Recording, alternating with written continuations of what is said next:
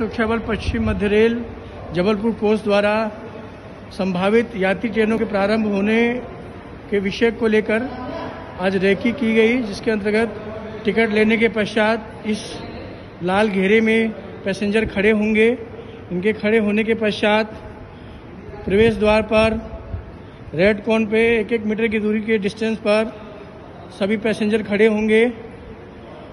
बराबर social distancing का ध्यान रखते हुए खड़े हैं। ये बैगेज केंद्र के पास जो है, इनका बैग चेक होगा। यहाँ पर स्टाफ बैग चेक होने के बाद प्रॉपर डिस्टेंसिंग में खड़े होंगे। खड़े होने के पश्चात, बैग स्कैन करने के पश्चात यहाँ मेन गेट मेन गेट पर थर्मल स्क्रीनिंग की व्यवस्था की गई है। यहाँ पर पहले सैनिटाइज कराया जाएगा।